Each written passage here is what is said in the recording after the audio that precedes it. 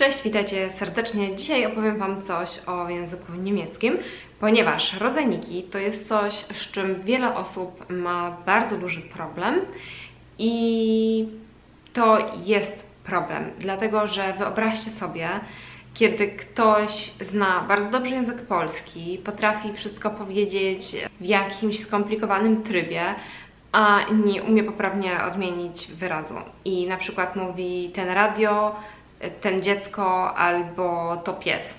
Więc wtedy od razu taka osoba sprawia wrażenie, że jednak niezbyt dobrze ten język polski zna. I w języku niemieckim jest to samo. Możecie coś mówić bardzo dobrze w koniunktyw perfect, ale jeśli nie znacie rodzajników i przez to również nie umiecie poprawnie odmieniać rodzajników i mm, przymiotników przez przypadki, to jednak zawsze będziecie sprawiać takie wrażenie, że niezbyt dobrze ten język znacie. I to są rzeczy, których nie można ukryć za pomocą mm, na przykład niewypowiadania końcówek, yy, za pomocą niewyraźnego wypowiadania końcówek. Takie rzeczy zawsze widać i tutaj nie ma się co oszukiwać. A odmiana przez przypadki w języku niemieckim jest bardzo prosta, jest niczym w porównaniu z odmianą przez przypadki w języku polskim. My w języku polskim nie mamy rodzajników, ale mamy rodzaje. I te rodzaje, wszystkie wyrazy w swoim rodzaju również się odmieniają przez przypadki. Mamy ich jeszcze więcej niż w języku niemieckim i to jest dopiero problem. W języku niemieckim mam tylko cztery przypadki, e, bardzo łatwe, i nawet wyrazy nie odmieniają się przez te przypadki, nie odmieniają się ich końcówki, tylko odmieniają się rodzajniki. I to jest bardzo, bardzo duże ułatwienie, bo tych o, liczba tych odmian jest bardzo ograniczona i wystarczy się tylko nauczyć dosłownie paru zasad i już można śmigać w tej odmianie. Ale oczywiście mm, po to, żeby nauczyć się prawidłowej odmiany, co też jest łatwą rzeczą i naprawdę można to zrobić w jeden dzień, jeśli się wie jak, y, to trzeba znać rodzajniki. To jest podstawa. Bez y, znajomości odpowiednich rodzajników nie możemy odpowiednio wyrazów odmieniać. I to jest problem i postaram się Wam dzisiaj mm, powiedzieć, jak można skutecznie się rodzajników, rodzajów y, niemieckich rzeczowników nauczyć. Po pierwsze, oczywiście, możesz sobie sprawdzić w jakiejś książce albo nawet na YouTube, w różnych filmach, jakie mm, końcówki są przypisane do jakich rodzajników. Tych zasad jest całkiem sporo i jeśli ktoś potrafi, może się tego nauczyć ale nie wyróżę tutaj zbyt dużego sukcesu, mm, bo są to rzeczy, które jest bardzo trudno zapamiętać, są to suche informacje i no niestety większość ludzi tego jednak nie zapamiętuje.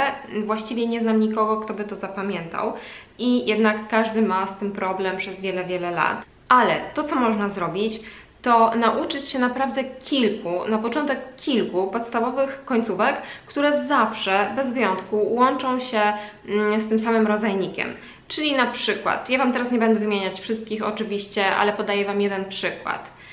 Na przykład y, kite, height jest zawsze di. Na przykład ung jest zawsze di. Na przykład rzecz, rzeczowniki pochodzące od czasowników, czyli das machen, das aufstehen, das aufräumen, one wszystkie mają rodzajnik właśnie das.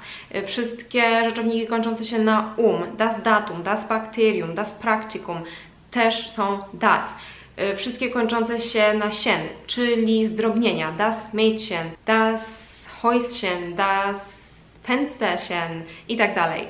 I możecie sobie właśnie mm, zrobić mapę myśli z takimi podstawowymi końcówkami. Możecie też zrobić ze wszystkimi, ale tego tutaj już zaczyna być naprawdę sporo. Jeśli weźmiecie jeszcze do tego wszystkie grupy, pojęcia określające coś tam, pojęcia określające coś innego, to tego się naprawdę robi bardzo dużo i wtedy już znowu zaczyna być trudno to zapamiętać. Jeśli weźmiecie sobie tylko takie podstawowe końcówki, takie, po których widać na pierwszy rzut oka, że to jest zawsze jeden rodzaj, i zrobicie sobie taką mapę myśli, to już o wiele łatwiej będzie Wam to zapamiętać, jeśli to będzie właśnie taka ograniczona liczba tych końcówek. Takie najbardziej podstawowe z takich wyrazów, których się bardzo często używa.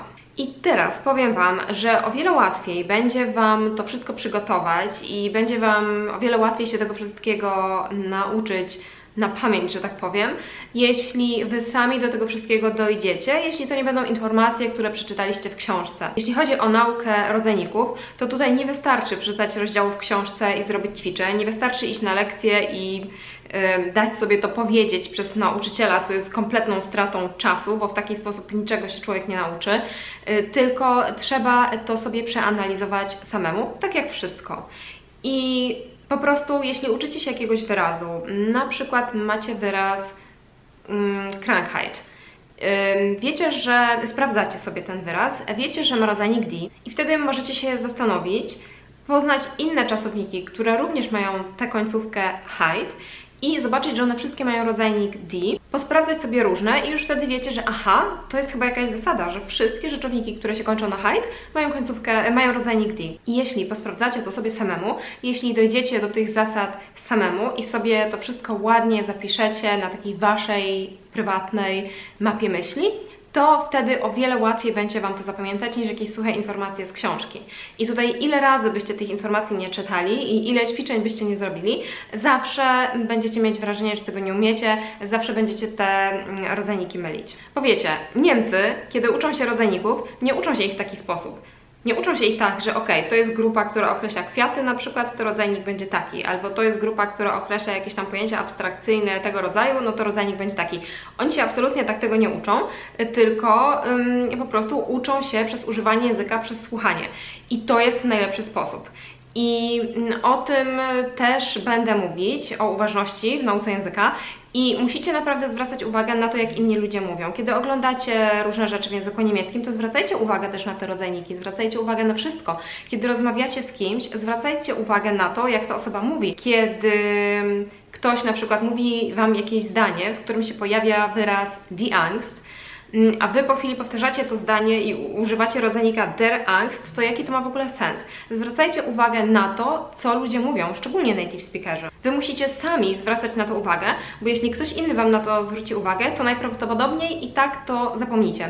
I tak na przykład się dzieje też na konwersacjach z języka, kiedy uczeń kompletnie nic nie przygotowuje, przychodzi na te konwersacje, mm, opowiada o czymś tam, jest to taka mm, swobodna rozmowa, y, nauczyciel od czasu do czasu coś poprawia, i generalnie uczeń sobie po prostu mówi i kompletnie właściwie ignoruje to, co ten nauczyciel poprawia, bo to są rzeczy, które zapamiętuje się niesamowicie trudno. I następnym razem, kiedy przychodzi, znowu robi te same błędy, znowu używa złych rodzajników, znowu mm, robi te same błędy gramatyczne i tak dalej. Po prostu mm, taki system też nie działa. Na tym się trzeba skupić i na tym trzeba się chcieć skupić i trzeba chcieć poświęcić temu odpowiednią uwagę i przeanalizować to sobie, a nie tak kolokwialnie mówiąc, olewać, bo naprawdę w większości przypadków jest tak, że kogoś się koryguje, a ta osoba mówi, aha, dobra, i za chwilę o tym znowu zapomina i dosłownie za chwilę znowu powtarza e, zły rodzajnik. To zależy od Was, to Wy musicie chcieć zwrócić na to uwagę i chcieć też zapamiętać. Za każdym razem, kiedy uczycie się nowego rzeczownika, musicie nauczyć się tego, jaki rodzaj ma ten rzeczownik w języku niemieckim. I tego nie obejdziecie w żaden sposób. Albo będziecie już to wiedzieć mm, intuicyjnie, ponieważ jesteście już tak zaawansowani w języku, że potraficie to wyczuć, tak samo jak robi to mm, Niemiec, albo po prostu musicie sobie ten rodzajnik sprawdzić.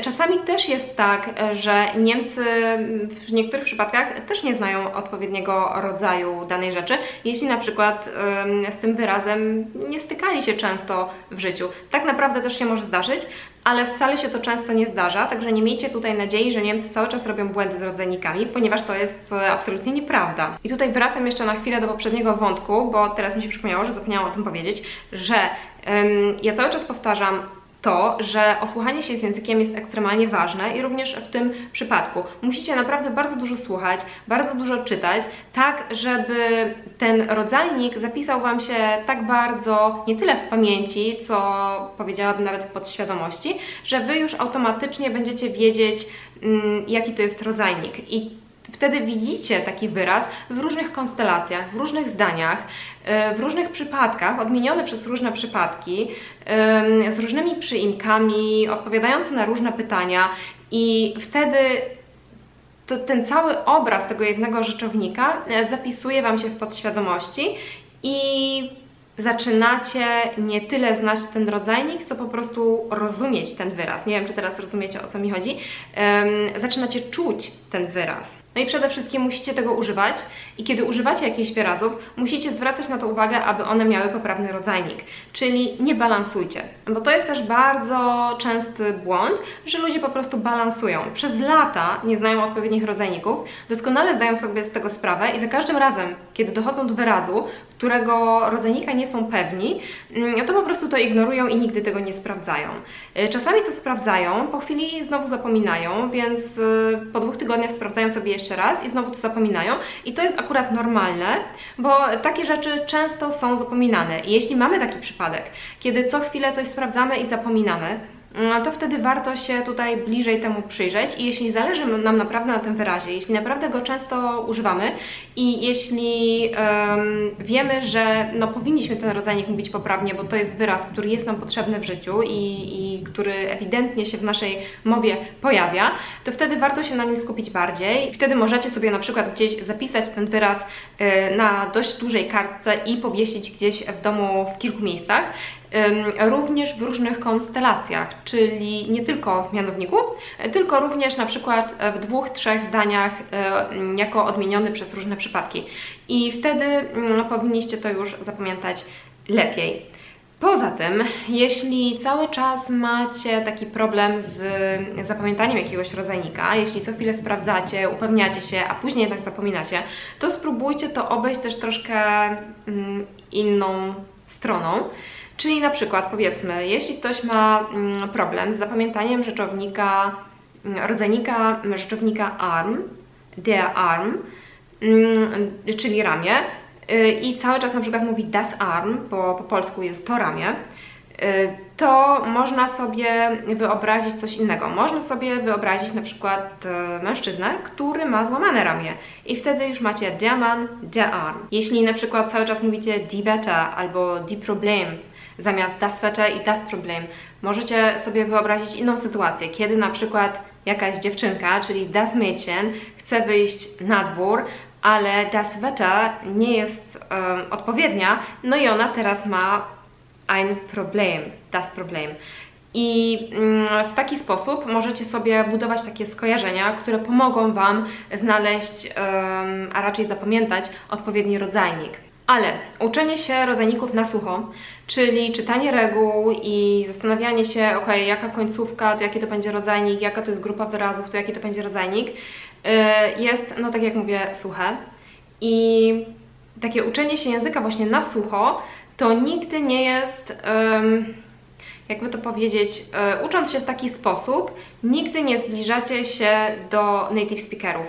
Y, dlatego, że oni ten język czują i oni w tym języku myślą. Oni tym językiem posługują się intuicyjnie, oni to wszystko mają w podświadomości.